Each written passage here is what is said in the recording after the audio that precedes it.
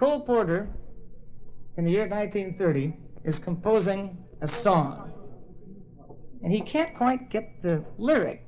And this is the way it sounded in 1930. Uh, let's see. The birds and the bees and and you. No. You and the see, bees for sale.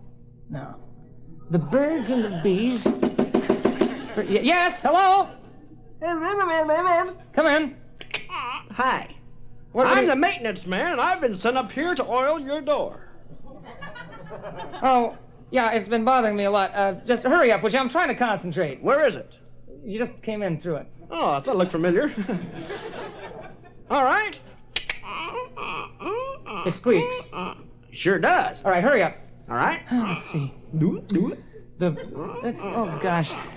The the, the birds, do it, bees, do it, even educated fleas. do it, Let's do it. let's fall. I think I've got it. Let me hear that again, young man. No, no, the other thing. Do it, do it. That's it.